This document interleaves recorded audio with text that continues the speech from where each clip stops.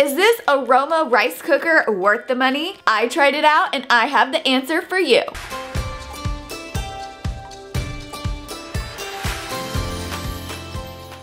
Hey everyone, I'm Coral and welcome to my channel. Here you'll find practical tips for a home you'll love. Today I'm gonna give you my reviews on this Aroma rice cooker. Rice is something that we eat in our house probably about once a week. This rice cooker is something that I had been wanting to try for a while. I bought it a couple of months ago and have been trying it out so that I can do a review for you guys. We cook rice maybe about once a week in our house and we eat brown rice and it takes a long time to cook. For the longest time I was cooking it on the stove top and it was just never turning out right. It took forever, it took a good hour for it to cook, and then half the time I couldn't keep the heat even, so sometimes it would be a little bit dry and burnt on the bottom, and sometimes there'd be way too much water, and it just never turned out consistent. Because it took a long time, I like to just leave it on the stove and let it cook and that just didn't work well. So I decided to go on Amazon and find a rice cooker that would work for us. We've had it for a while now and I've tried it out and used it multiple times. So I'm gonna share information on how to use it, what you get in the box, how it works, and my overall impression.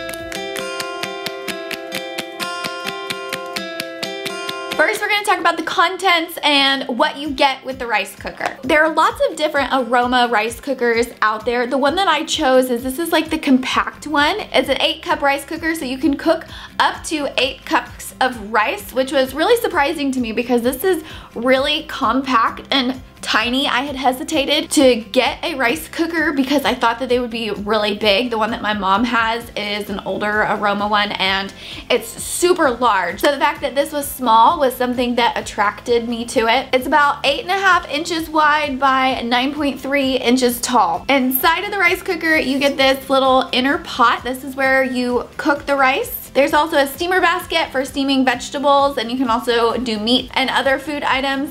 There's a measuring cup and a spatula for the rice. The good thing is that all of these items and the inner pot that you cook the rice in are dishwasher safe, so that's a huge plus that you don't have to hand wash them every time that you're done. That was big for me because since I was cooking it on the stove, I was having to hand wash the pot every time that I was making rice. I will say though, for the inner pot, you can get some like rice residue stuck on it. I don't know, you can kind of see just a little bit. I try to wipe it out really well. The rice does get stuck on here and will leave a little bit of residue if you just throw it in the dishwasher. So I like to give it a good scrub with my dish brush before I put it in the dishwasher. That way it doesn't leave the residue and then sometimes I'll give it a wipe out afterwards. It's not really a big deal and it might not be something that happens with all different types of rice, but we like to eat brown rice, so that might just be a part of brown rice in this rice cooker. There are a couple other things about the rice cooker that you need to know that I didn't know at first. Inside the rice cooker, you have this inner lid and I was always just wiping it out with a paper towel or a dish rag whenever we were done. It is actually removable. So you can take it off and if you can see, it does get a little bit of gunk up in there. So you wanna make sure that every once in a while you remove this inner lid and you give it a good wipe along with the inside part of the rice cooker as well that is underneath that. So that's something that you need to be aware of that's not super obvious. You want to remove the inner lid every once in a while and give it a good clean, but I don't think that this can go in the dishwasher. And then when you're done with it, you just pop it right back on Boom. This is another thing that I wasn't aware of right away. This collects the condensation in this little container so that it's not all over the outside of the cooker. So every once in a while, again, you just wanna pop this off, give it a rinse, let it dry, and then put it back on. That way a bunch of gunk doesn't build up on it.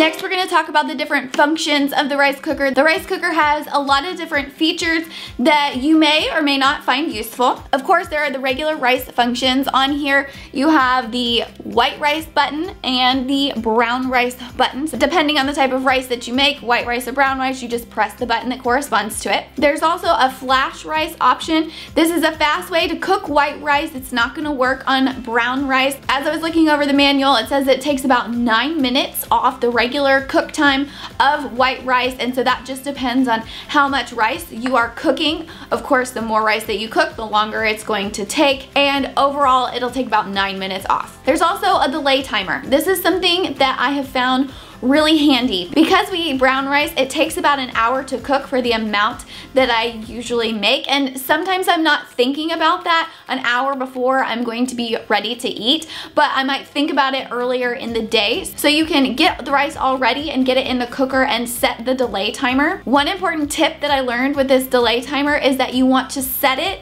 for the time that you want the rice to be ready. I made this mistake the first time that I used the delay timer. I was assuming that I'm going to set it for the time that I want it to start cooking the rice. I wanted the rice to be ready in three hours from when I was setting it up. So I set the delay timer for two hours thinking that it would wait two hours and then cook the rice and take an hour to actually cook the rice. That's not what happened. My rice was ready early, which was okay because the warm setting on the cooker works really well and keeps it nice and warm. It just caught me by surprise because I was walking past and it started cooking and I was really confused as to why. If you think about it, it actually works way better the way that it is set up if you're thinking, okay, I want to eat in three hours, I'm going to set the delay timer for three hours and the rice will be ready in three hours. That way you don't have to do the math and say, oh, I want the rice to be ready in three hours. I'm gonna set it for two hours because it takes an hour to cook.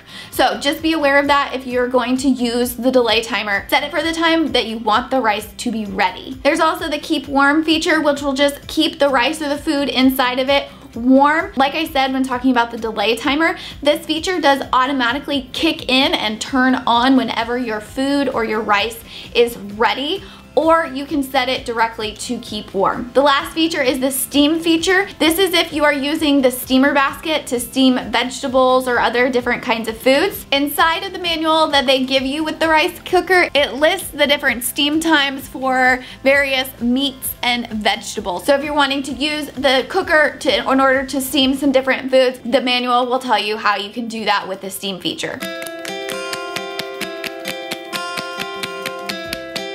Next, let's talk about how to use the rice cooker. So I'm gonna talk you through how to use it in order to just cook regular rice and the same goes whether you're cooking white rice or brown rice. The first thing that you're gonna do is to measure the rice in the measuring cup. Now don't worry if you misplace this. This little measuring cup is equal to 3 fourths a cup. When you're measuring the rice for the cooker, this is going to equal one cup.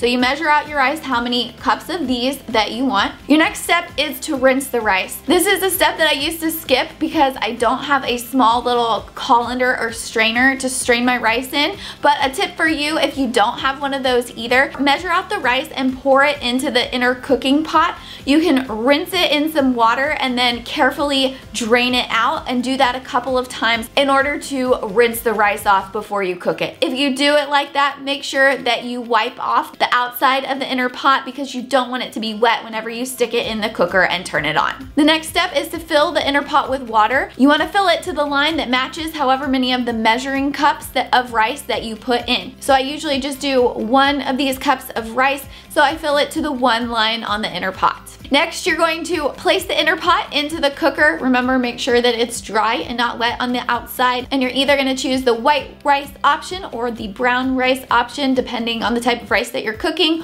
or flash rice if you need fast white rice. On the display, a chasing dot pattern will appear. Don't worry, it is cooking and starting to work. This is something that I was really confused about in the beginning and wasn't sure if it was working right. That is what it is supposed to do. Depending on the type of rice cooker that you choose, when it gets down to around 10 minutes is when it will start giving you a countdown timer of how much time is left on the rice before it will be done. When your rice is finished cooking, the cooker will beep and then turn automatically to warm.